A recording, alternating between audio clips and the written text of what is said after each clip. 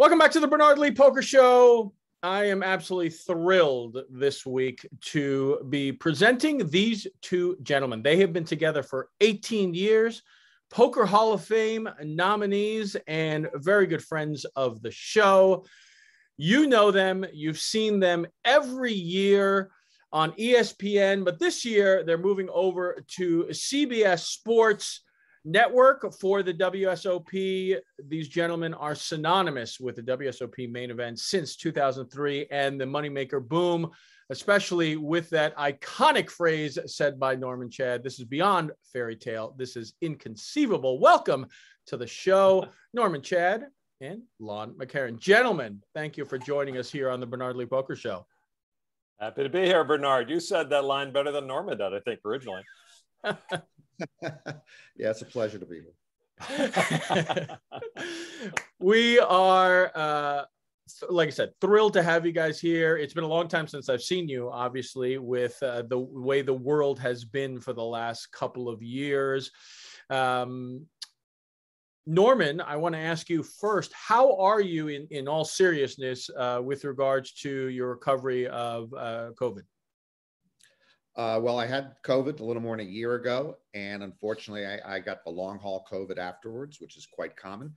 Uh, I haven't had it as badly as other people. It's just been extreme fatigue and brain fog, uh, and it comes and it goes. It's gotten a little better the last couple of months, but it, when it hits, whether either one or the other, like you can't get out of bed for two or three days, or you can't really think with the brain fog. Uh, so when I, I, you know, if I can't really think, that puts me more in line with Lon. So I think we have a better relationship. Uh, so I don't mind the brain fog that much. He's Put you on better, equal footing. You tell. yeah, equal footing. Thank you. Well, you know, you guys have been, I mean, I, I, think people don't realize it sometimes. You guys have been together since 2003, the Moneymaker boom. Um, 18 years. Last year, you guys were nominated for the Poker Hall of Fame. Um, first, before we get into your careers, Poker Hall of Fame, what an incredible uh, accomplishment to be nominated uh, and, and really what an honor. What did you guys think when you heard? Well, since we're in charge of the nominations, it wasn't that much of a surprise. Um, but no. I'll send you. I'll send you my check later. Then. yeah, that's fine. No, it was thrilling. I mean, yeah, to be recognized by the people uh, whom you report on and work with, and all like that uh, it's thrilling and and uh, it's you know like I say, being nominated is an honor in itself, and it really was. You know, I, nobody expected us to get in, uh, so uh, I, it, it's very nice, very gratifying, actually. Yeah, I, I had never, I, I'd been a Poker Hall of Fame voter, so I actually never, I never thought about actually that we would would be could be in the Poker Hall of Fame. That just didn't really cross my mind. Uh, and now I know it's not going to happen because I mean every team is only as strong as its weakest link. So if, uh, that's true. That's yeah, true. If, if, I'm if I'm linked to Lon, I really have no shot. So I really appreciate the nomination, and uh, we both you know know this is as far as we can go. Well, we're, we're, we're just basing it on the 2002 World Series, so you have nothing to worry about, okay? Because I did that, of course, with my good friend Gabe Kaplan. yeah, he, he, he, did the World Series starting one year before me with his good friend Gabe Kaplan. so uh, now, uh, yeah, let, us see if that 2002 World Series gets you into the World Series. well, we are talking about how you guys got started in the World Series and let's talk about it. Norm just alluded to it. Lon, you started in 2002 with uh, Gabe Kaplan. That was the year that Robert Varkonyi won. But how did you kind of get into this world of uh, the World Series? How were you contacted, and uh, how did you get involved? It was um, a regular gig. I was a regular play-by-play announcer for ESPN on a freelance basis. Um, I used to have a sports production company and I would produce shows. That's how I got on ESPN the first time. I knew nobody was going to hire me there. Uh, but so I, I became an outside packager and hired myself to do the on air work and got on ESPN. So that showed them. Uh, but yeah, it was just another gig, you know, just another poker gig. Yeah, I'll do a poker gig.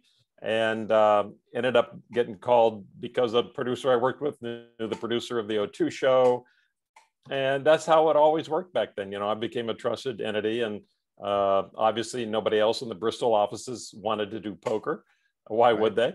And right. uh, so when 03 came around, uh, I was the last guy that did, you know, a poker show. And that's how it worked. so it's right You've place, also, right time. You, have also done other play-by-play stuff. You did some in the bowling uh, world too, right?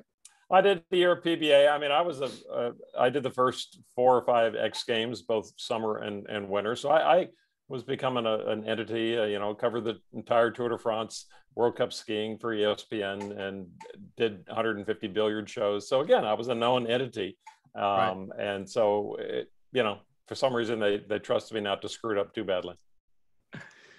Norm, how about you? I mean, uh, this was not, uh, you weren't there in 2002, like you said, uh, but obviously you came on in 2003 and, and said that iconic line that I mentioned earlier. How did they give you a call? Yeah, for me, it was more unusual. It was almost like a piano falling out of the sky. You know, it didn't crush me because it was just a complete accident, almost a complete accident. Uh, I was a sports columnist at the time, as I still am. Uh, I was doing some work for ESPN, but mostly as a consultant.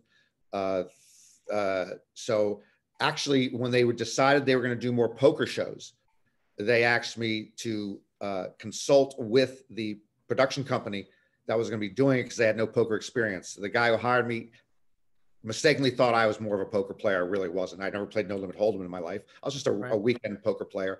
So I consulted with them uh, for several months, uh, 441 Productions, who ended up doing it at first.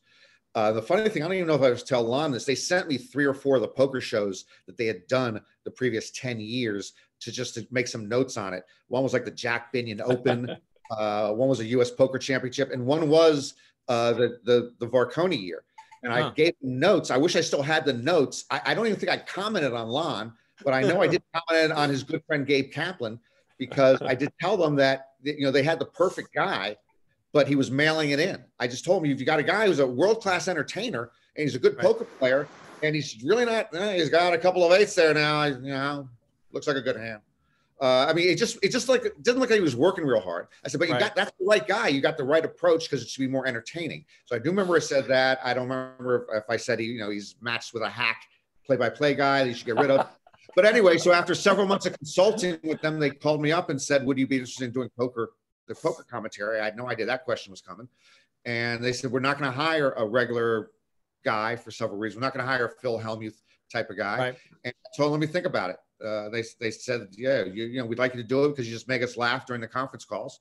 So I thought about it for a week and I thought it was a one-off. And uh, I said yes. And then, you know, we, that, we, we went from there. Yeah. I remember the very first time we did it on camera, uh, was right after Moneymaker one, literally right after Moneymaker one. So we're working at two or three in the morning doing our on camera work. And the producers wanted me to say, Hi, I'm Lon McEachern, along with tournament poker player Norman Chad. And Norman, being a stickler for facts, uh, he's like, Well, wait, wait a minute. This doesn't sound quite right. right. and the producer talked us into it, I think, right, Norman? Uh, yeah, I was saying, I'm not a, played a yeah. tournament, right? So you're a tournament player. You're a tournament I wasn't a tournament player. He said, Have you ever played in a tournament? I played in one or two. I said, Yeah, I've played in one or two. Well, you're a tournament. Instant credibility. Crazy.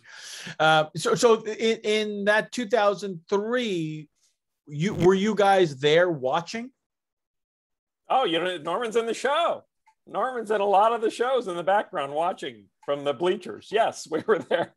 That's funny. That's funny. And I know that you guys have always talked about it with me. I have to get out of the shot because I can't be in the in the shot in the background. Yeah, Norman was. Uh, I know that. They, they left you, right? They left you in, right? They left me. Actually, they didn't see me in one of them, and they decided to leave me on the other one where I'm in the first row, just watching the, the TV table. And I didn't know I was in the camera shot because I had no TV experience, so I didn't know I wasn't supposed to be there.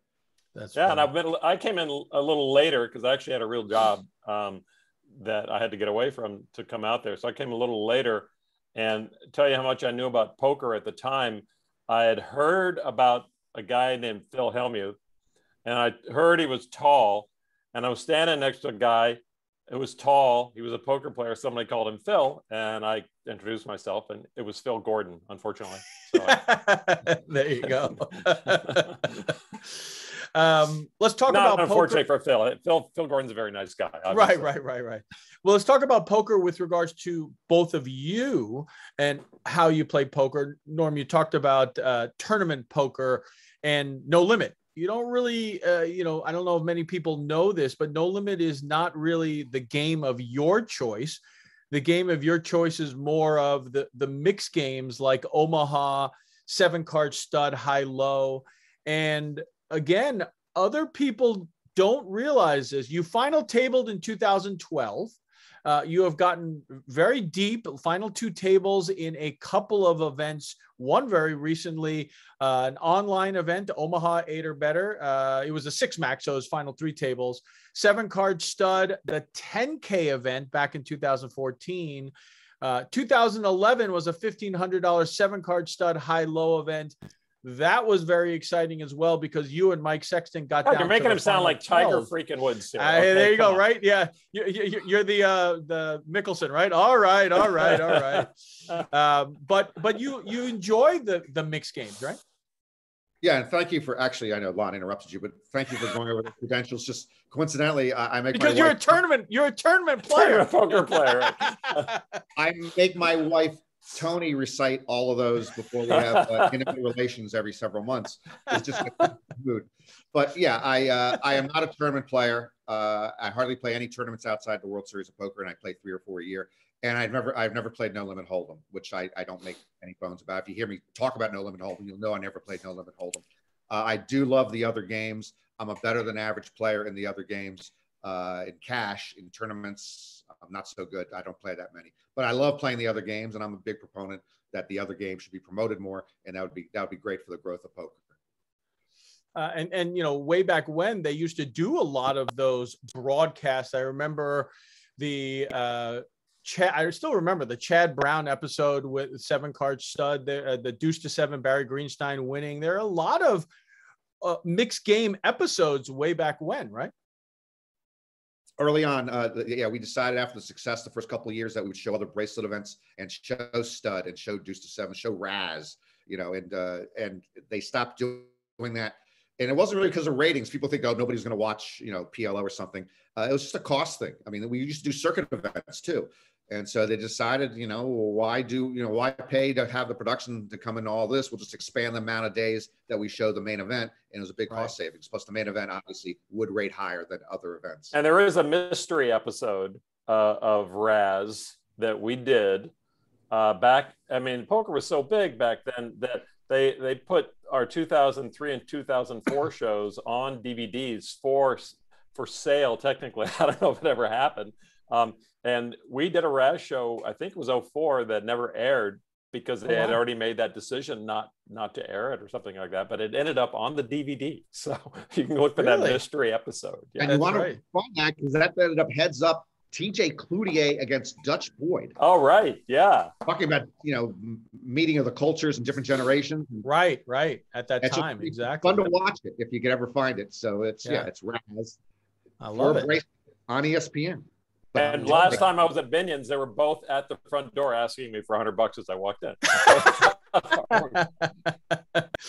Lon, you're a little bit different, right? Uh, you are more of a, a Hold'em player and Thank you. have done very well yourself in a lot of the circuit WSOP circuit events. I know back in 2013 you you finished fourth and have final tabled a, a couple of them, right? That's all I get. One mention, one mention of one event. Oh, I'm sorry. I'm sorry. No, yeah, maybe you mentioned your, your little your circuit stuff. yeah, that was good. No, the circuit, three circuit final tables. Um, in Aruba, uh, the last time they held the circuit in Aruba. Yeah, Right. two, two, two final tables back to back in the evening and just missed a third. Uh, and got to go to Aruba. So yeah, That's that was right. a win, win, win, win. So, um, and, and I know that you play a lot. You're in uh, the Sacramento area, right? And, and play a lot Correct, at yeah. Stone, Good- Stone's good Gambling. Casino, right? good Thunder Valley's there as well. Uh, a couple Right. other casinos have opened. Um, another one's gonna Harrah's property is gonna open uh, again soon. Strong poker environment uh, out there in uh, in the Sacramento area. So yeah, I get out and I I, I play when I can, um, and uh, it just it helped me you know understand the game, help me learn what's going on. Uh, but as you know, with the guys today. Um, it's it's a, almost a 24 seven study habit right. you have to have to stay up with uh, right. all the guys. And I'm, that's not my goal. My goal is to go and have fun and say hi to people and, and, you know, win a little money here and there. And, and um, I've been able to do all of those things, I guess. Yeah. I want to talk. Both of you have been very kind to come to a, bunch of my charity events over the years. We've I've, we've had it for the One Step Closer Foundation, and you guys have uh, been so kind to come to our events and uh, be one of the celebrities. Uh, but I want to highlight something that Norman's doing this year at the 2021 World Series. Uh, he is planning on playing in the $25,000 horse tournament, which is Woo! kicking off right away. It's the first day of the 2021 World Series.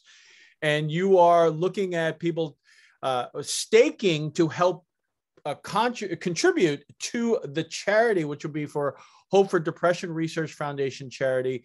$100 toward the staking and $50 toward the charity. Uh, Norm, talk a little bit more about that. Yeah, I would never, I would, I would never play in a 25k to begin with uh, in a normal circumstance. Uh, I've played in 10k stud eights where I'm, I'm backed by my friends for half to two thirds. So I've never, you know, I've never put up that type of money. Uh, this is a first time event for the 25k. It is, is, it might not have it again. They're kicking off the World Series with it at the end of September. So I decided that it would be kind of cool to, to plan it, have a bunch of people stake me, and uh, then raise charity. So with the markup of 1.5 that you mentioned, the 0.5 markup goes to Hope for Depression uh, Research Foundation. I've you know had severe depression, clinical depression for most of my adult life. Uh, it, the depression has come more into the forefront. Uh, thankfully, the last few years, where people talk about it more and realize that it's a serious uh, health issue. Uh, so I, I, would like to carry some water for that. And so, yeah, it's, it'll be fun. So a bunch of people get to sweat me for something that otherwise I wouldn't play. I'm playing against the best players in the world since it's going to be the 25K horse. It's a lot different than the 1500 horse. And then the, with uh, the 0.5, the charity gets automatic 12,500 without me having to cash or anything. Uh, and everyone else can hopefully get money back on their $100 or more investment. They don't have best, you know, they don't have a great chance. Statistically, it's 15%. Realistically, it's closer to three to five percent. Uh, but yeah, no matter what I do, everybody gets a sweat. And uh, the Hope for Depression Foundation, uh, Research Foundation, if you go to stakekings.com, they'll get uh, you know fifty dollars a shot and twelve thousand five hundred altogether. So if you go to stakekings.com uh, and they search for your name, and then yeah, you, they, just look for my name and you, you put it in there, and you know Lon Lon McEachern, for instance, is one of the people staking me. Uh, he's got a lot of loose change lately. So he says, yeah, 150 bucks, uh, that's nothing, you know. Uh, I'll pick that up at Stones or Thunder Valley next week. so yeah, I, I, have a question for Norman. Norman, uh, when you play, and I'm sorry, Bernard, can I jump? No, don't be sorry. Don't be. I love it. Um, I've noticed this. What if I'm going to play a higher buy-in? I feel a little more comfortable because I do, do you see more predictability maybe and the quality of players when the buy-in's higher. Can you you know what more to expect from them and can play back at them in certain ways? Does that does that I mean, happen? it's always the same thing where you're when you're playing against better players uh, they are more predictable. Uh, when you're playing against people who hardly play the game you know or, or just very loose aggressive players or bad players you, it's hard to know where they are in hand. So particularly in, in horse when we play 1500 horse you'll have people just float into the 1500 horse who ever have ever played you know, right. Rad or Stud or Stutter Eight or or, any, or Omaha. They just know Limit Hold'em. So, uh, and this is Limit Hold'em, by the way. So they don't even have that big of an advantage as they wouldn't know Limit. So yeah, you have a lot more mediocre play there, but you don't have no idea what they're doing. When you're playing against the best players in the world, you generally can predict the spots better, but they're always going to be better than you. They always, you know, they, they just know when to put an extra bet. They know when to do this. They know when to that. You know, there's no way that on any consistent basis I'm going to beat, you know, a David Baker, a Daniel Negreanu, and just down the line. But yeah, you you, you know, that's why it's the whole thing. Is the whole thing is you can't bluff a guy who never folds a hand. So it's hard to, you know, when you're playing against the best players, you can bluff them off of hands because they this this they know this they know that they know this, but you can't bluff bad players. So it's you just don't know what they're doing. By the way, they, they don't think they can bluff me because I'm a bad player relative to the good players. So it's it, it all comes with yeah.